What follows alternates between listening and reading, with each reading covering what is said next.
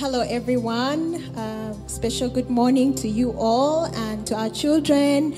Uh, happy seventh anniversary. I'm so excited that we are celebrating this day, celebrating the far that the Lord has brought us. And we are saying, uh, Ebenezer, I want us to open with a word of prayer. Dear Lord, we thank you for today. We thank you for your goodness. We thank you for your love. We thank you for your faithfulness, oh God. We thank you for the far that you have brought us. We thank you that we are celebrating a seven year anniversary, oh Lord. We thank you for the prophecies. We thank you for the different ministries in LAT and the leaders that you have given to us, oh Lord. We bless your holy name and say, Lord, that Ebenezer, thank you, O Lord, and we give you all the glory and honor. In Jesus' name I pray. Amen.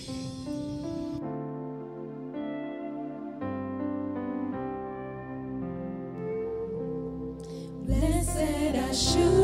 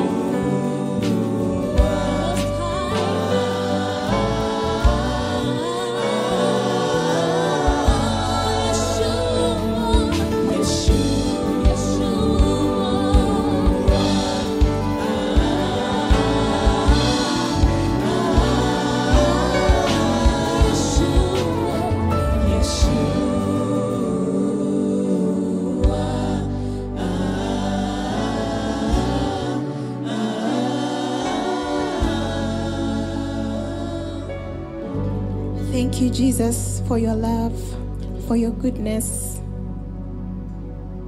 for your righteousness, oh God. Thank you, Lord, that we are in this place, oh God. Yeshua, we bless your name. Yahweh, we give you praise. You are holy. You are good, O Lord. You are loving, O Jesus. Yeshua, we love you. We love you. We say we love you, Yeshua. We bless your holy name. We give you all the glory and all the honor. We give you thanks for this day. We thank you for the far that you have brought us. Seven years and counting, oh Lord. We thank you, oh God. Thank you, Jesus. Thank you for this day. Thank you for our leaders. Thank you, Lord, for our ministry, oh God. Thank you for all the good things that you have done, the prophecies, oh God, the words of encouragement, the lessons, oh God, for edifying us. We give you all the glory. We give you all the honor. In Jesus' name we pray. Amen.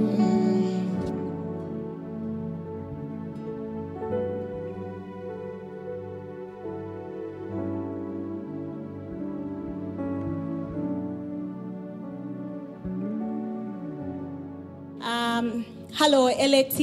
I hope that you are well. My name is Juliana Nantaba, and I'm so privileged to be speaking to you from this studio. I've always wanted to say that. Um, it's so exciting that today we are celebrating our seventh anniversary. Today I was thinking about that first service um, the people that came there. And I hope that you will also go down memory lane with me and think about that time that you joined uh, Last Adam Tabernacle or that first service or that first invitation that someone gave you.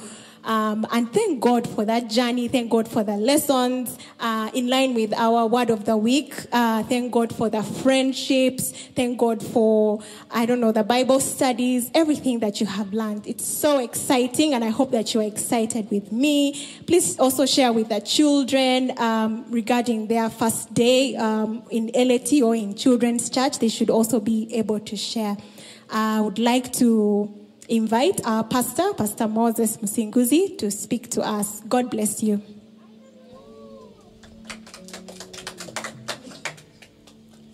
Thank you, Juliana, and thank you, worship team.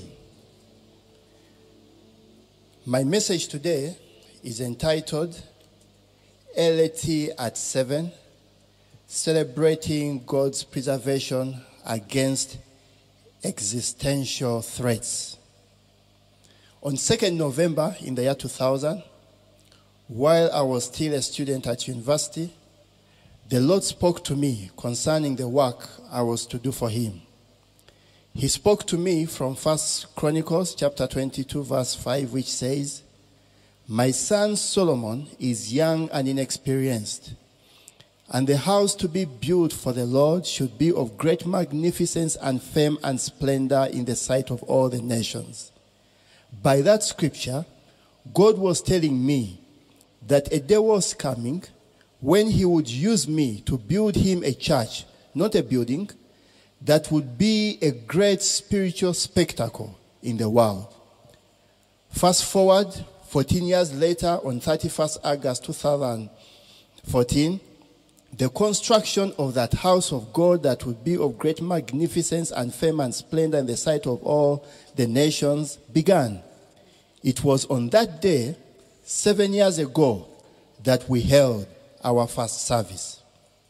Today's service is a celebration of the fact that God has preserved us against all evils which threatened our existence in the last seven years. There are three major existential threats that LAT has faced. Any of these three could have wiped LAT off the map, hadn't it been for God's preservation. The Bible says in Deuteronomy chapter 33, verse 6, that let Reuben live and not die, nor let his men be few. This blessing that Moses pronounced upon the tribe of Reuben perfectly captures God's will concerning us and how he has preserved us.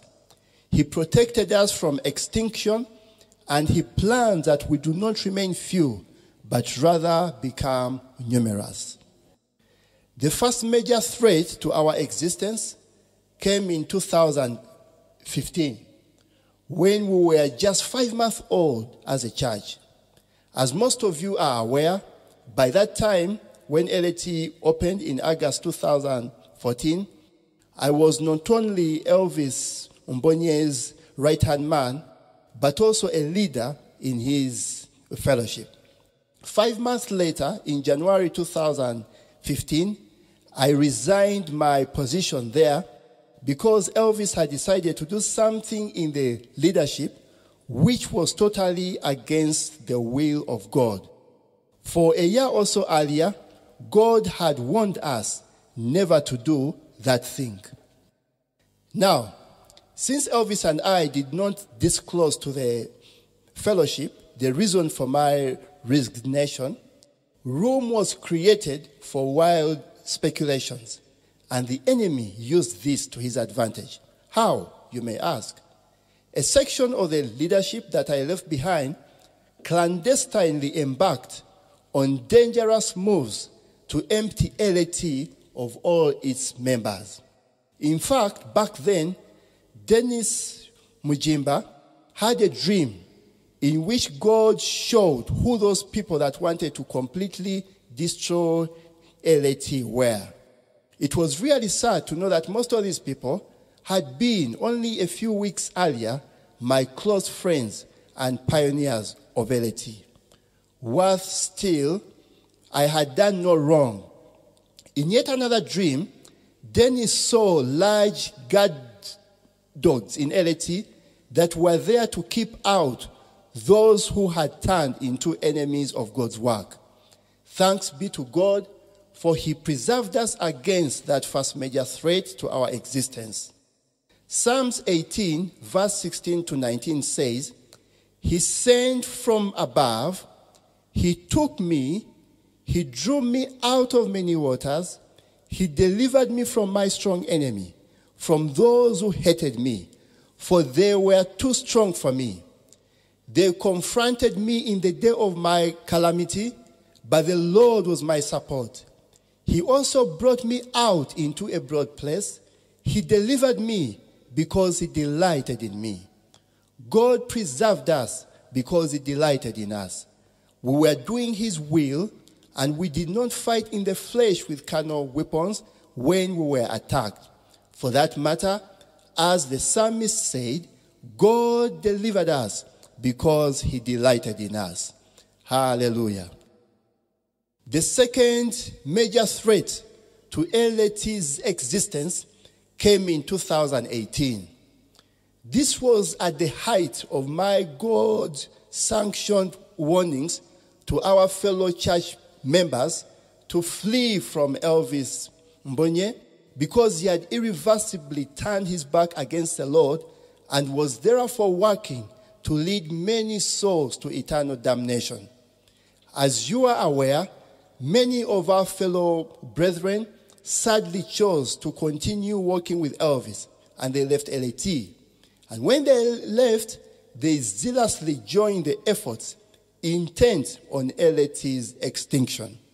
Once again, God preserved us. Hallelujah. The scripture we read earlier in Psalm 18 applies here too. It reads, He sent from above, He took me, He drew me out of many waters, He delivered me from my strong enemy, from those who hated me, for they were too strong for me. They confronted me in the day of my calamity, but the Lord was my support. He also brought me out into a broad place. He delivered me because he delighted in me. Hallelujah.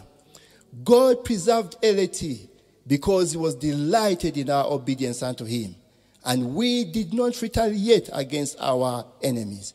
It was during this time when we had been left extremely few in number that our own Sandra had a very, a very encouraging dream in which LAT was once again filled with more people. It was also during this time that another dream came from God revealing that in a few years to come, we would become the largest congregation in this city. Once again, the blessing of Moses upon the tribe of Reuben comes to mind. God was not going to let us become extinct, and He had plans of making us very numerous. Glory be to His name. The third major threat to our existence as a church came in 2020, and it is still with us even to this day. I am talking about the COVID 19 pandemic and the resultant ban or suspension of all church gatherings. The combination of these two things has the potential of completely wiping many churches off the map, especially the very small ones like LAT. However, this has not and will not happen to us. Why? You may recall that on 27th October 2019, during the special praise and worship service that God asked for, He made an oath to us that LAT would by all means become everything He had ever promised it. He used the oath he swore to Abraham when Abraham, figuratively speaking, sacrificed Isaac. Okay, God used that to swear to us as a church. And he said, By myself I have sworn, says the Lord, because you have done this thing, the offering of our worship unto him, and have not withheld your son, your only son, the great worship we have in LAT. Blessing, I will bless you, and multiplying, I will multiply you as the stars of, of the heaven and as the sun which is on the seashore. Meaning that LAT will become so large. And he continued and said, And your descendants shall possess the gates of their enemies. In your seed, all the nations of the earth shall be blessed. And by that, God meant that we shall indeed become his house of great magnificence and fame and splendor in the sight of all the nations. Why? He continued and said in that scripture that this will happen because you have obeyed my voice. That happened when we obeyed God and offered to Him our best worship that Sunday. Glory be to His name. Therefore, because of that oath, COVID 19 and the ban on church gatherings has not and cannot exterminate LAT before all the promises God gave us are fulfilled. You know, an oath is different from a typical prophecy or a promise. A prophecy or a promise, for various reasons, can fail to come to pass, but not with an oath from God. An oath was made to us, therefore, even the threat of COVID to our existence is just that a mere threat. Hallelujah. Interestingly, just after that oath, I remember telling someone that since God has given us his oath, it could be indicating that a very tough time is coming for LAT. It is said, and it is true, that oftentimes when God gives a very clear and undeniably true promise, it is because you are going to experience tremendous demonic resistance, and you will need that undeniably true promise to remain steadfast in faith.